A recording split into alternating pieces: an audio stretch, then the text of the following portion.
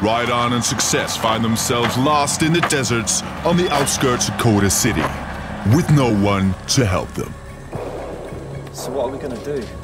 I don't know, man. It's crazy. I don't know, man.